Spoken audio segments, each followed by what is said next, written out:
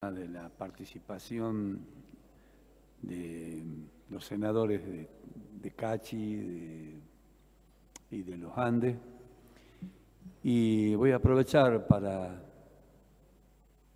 comentarle cosas que debe saber seguramente el, senador por el departamento Güemes. el nacimiento de la organización de los empleados de enfermería, enfermeros, de esta provincia se hizo en General Güemes. Eh, una historia que, que, tiene que ver con un gran gobernador de Salta, eh, que es el señor Carlos Amena.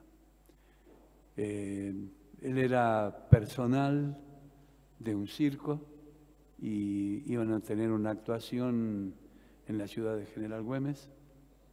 Se siente mal y se va al hospital Joaquín Castellano donde lo atiende un profesional de Salta y, y él le dice, te vas a tener que quedar. Yo no puedo, dice, porque tengo que trabajar. Te vas a tener que quedar internado porque no estás bien. Y, y efectivamente tuvo como 60 o 70 días internado en el hospital.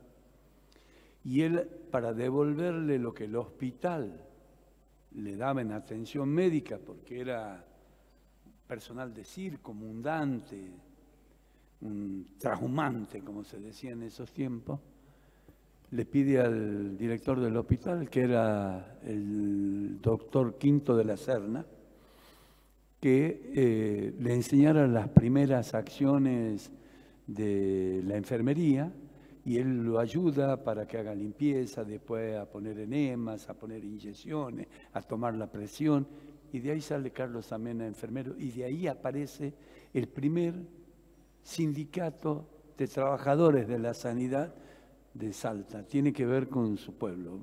Quería, hace, antes de la pandemia, unos días antes, en el gremio de ATSA de General Güemes, hicimos un acto de una presentación de un libro de, sobre la vida de Carlos Amena, hecho por dos, por dos historiadores e investigadores del periodismo. Y y la verdad que fue muy bueno conocer esa parte, esa parte de la historia de Carlos Amena. Así que quería aportarle a sus conocimientos esta pequeña cosa que ocurrió en su pueblo, en el Hospital Joaquín Castellano. Gracias.